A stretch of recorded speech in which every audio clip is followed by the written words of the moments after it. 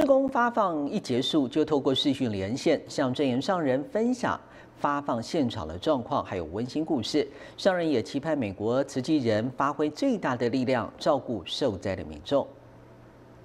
还有啊，很多的这种生活很苦的地方哦，这样的苦难相啊，啊，来鞭策我们的。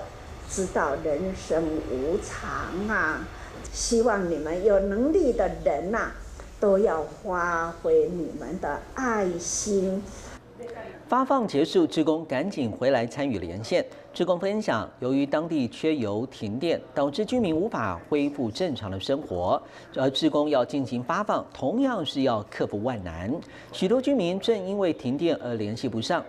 现在全美一百八十九个据点的慈济职工启动募款的活动，希望透过一波一波的宣传，还有木星募款，汇聚爱心与力量，驰援美东灾区。